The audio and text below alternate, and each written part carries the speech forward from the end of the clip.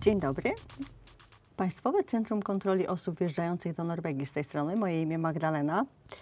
En person har ankommet Norge fra Polen og får nå en telefon på polsk fra en veileder ved det nasjonale kontrollsenteret for innreise.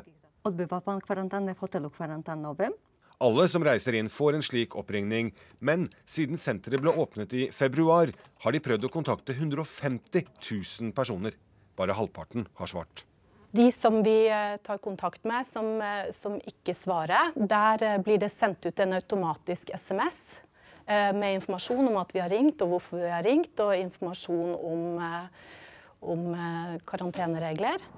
Senteret som ligger i Tønsberg skal bl.a. kontrollere at folk som reiser inn i Norge, følger reglene for testing og karantene, og hjelpe kommunene med å følge dem opp. Ca. 4-5% av samtalene ender med at kommunene får varsel om mulig brudd på innreisereglene.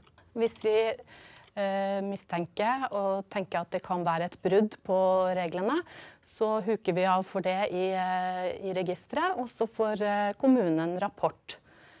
Så da er det de som må følge opp, eventuelt Ja. kommunen? Så vi bistår jo kommunen med det.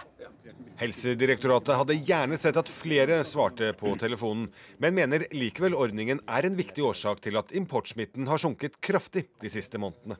Det er veldig mye bedre nå.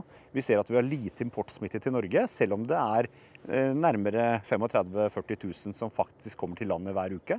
Eh, Men det fungerer mye mye bedre enn det gjorde, og dette senteret gjør en kjempejobb.